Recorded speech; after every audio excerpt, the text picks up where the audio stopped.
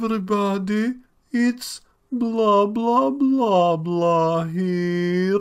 And uh, you must be wondering why I have a black eye. So I'm going to tell you the whole story. And uh, contrary to rumors on the internet, I did not receive the black eye from my female girlfriend, Lunar Biscuit. She was actually in jail at the time, so she could not have done it. And it's totally not because I don't know how to use a rifle when shooting in the firing range and hitting my own eye with the scope. It's not like that. That's not what happened. Those are just rumors on the internet. But I'm going to tell you the true story. It actually happened when I was going out with friends. I was out socializing with a lot of female girlfriends who all wanted to take a ride with me and invited me to a karaoke bar. And there were a bunch of friends of mine all celebrating with me. They were celebrating my awesome success on YouTube. And they all wanted to have drinks with me. And one of my best friends, my best friend, drank a little bit too much. And he started slapping all my female girlfriends on their buttocks. And I politely told him to calm down.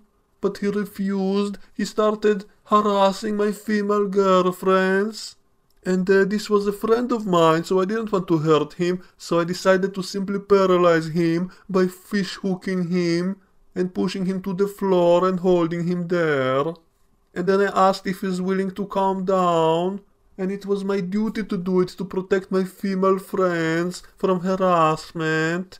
Because I'm a true gentleman, I would never get a woman be harassed by a friend of mine, so I had to stop him, and so I fish hooked him and put him to the floor and I held him there and then I asked him if he's willing to behave himself and he said yes and then I allowed him to come back up and then he sucker punched me right in the eye by surprise and that's how I got this black eye and then I fish hook him again and I put him to the floor again and then I called all the bouncers all the bouncers came running to me and the owner of the bar came up to me and he was a close personal friend of mine and of my family. So i immediately apologized to him for the bad behavior of my friend and i went over to every single person in the bar to apologize to them for all of this incident because that's what real men do. That's what tough guys like me do. They apologize to everyone for someone else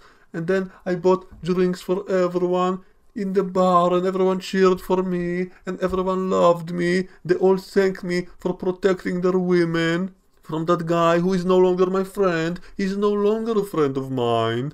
So that's why I had to fish hook him and paralyze him and keep him on the floor until the bouncers arrived because I didn't want to hurt him. I didn't want him to hurt himself by attacking me because he was a friend of mine.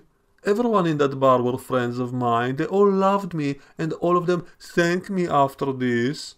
So uh, that's the story of how I got this black eye. It was me being a hero and protecting women from another man who was out of line. He was out of line.